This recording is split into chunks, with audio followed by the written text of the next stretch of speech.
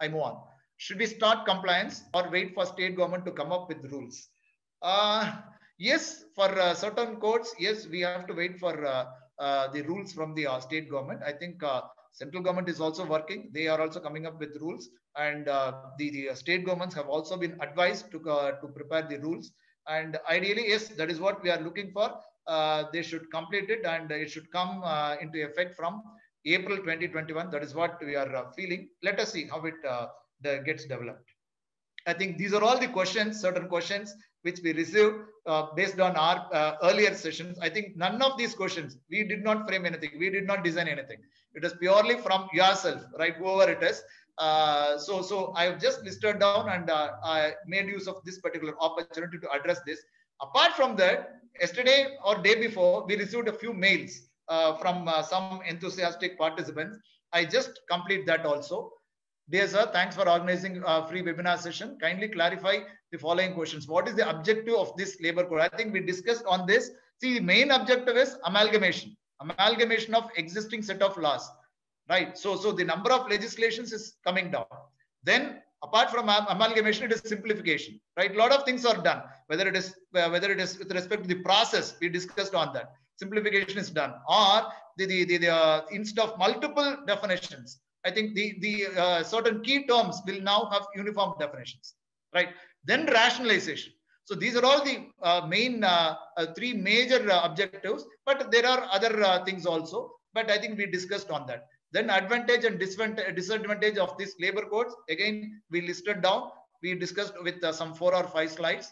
And how many labor laws replaced based on these labor codes? It is only 29 right? So uh, the, the uh, uh, code on wages has four, four laws and uh, occupational safety has uh, 13 laws. Uh, the, the industrial relations has three laws and social security has nine laws. So 4 plus 13 plus 9 plus 3 total comes to 29 laws. So existing 29 central labor legislations, it is getting subsumed into four codes. That is the idea. Again, share the forms, returns, registers as per these labor codes. I think we have to wait for the rules to come, right? These forms and all, it will be prescribed by formats and all uh, will be prescribed by the rules. I think we have to wait for the central rules as well as the state rules. Thank you, Mr. Ramaraj, for your uh, enthusiasm, for your mail. Now we move on.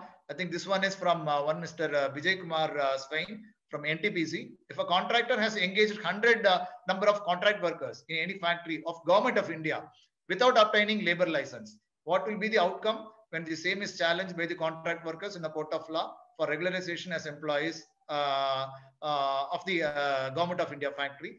Will they be absorbed in the factory as employees of the company or only fine will be imposed? What is the position as per prevailing contract labor act? And I think there is no change between the existing provisions of uh, the uh, current uh, contract labor act as well as the new code, right? Again, this will be if, if the license is not obtained, then it is violation of that particular section only.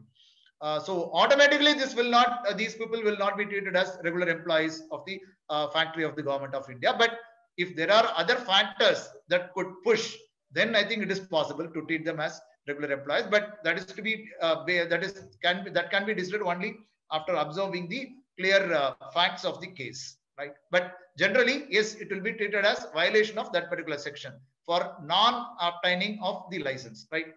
So non-licensing, whatever is punishment, I think license again, it is to be done by the contractor, right? So, so it is for the contractor, in fact, violation of uh, section 12. Then uh, this is uh, from one Mr. Uh, Shiva Jampani. His principal employer contractor is liable to pay 20% of bonus to contractual worker who is working on monthly salary uh, less than 21,000. Please verify. See, currently, if you are asking uh, the, the principal employer is not liable to pay bonus to contract workers, even if the contractor fails. Currently, I'm saying, but once the code is implemented, I think under the draft rules, under code on wages, I think they have mentioned that at least 8.33% of the bonus is to be paid by the principal employer to the contract workers if the contractor fails, right? I'm not again quite convinced with that provision, but still it is there. Can a contractual worker working on monthly salary for more than four years claim permanency to contract a principal employer? See, it, it again depends. If he is a contract worker, he cannot claim, right? But he can raise a dispute, he can claim permanency Only if he questions that he is not a contract worker but a regular employee of the principal employer. Only then he can, uh, he can raise a dispute. But of course, he if the contractor himself is a company, if he himself is a legal entity, then he can uh, uh, raise the dispute against the contractor as employer. That is possible, right? Since they, that person has put in four years of service. Now, I think this is from uh, Mr. Uh, Xavier Raj.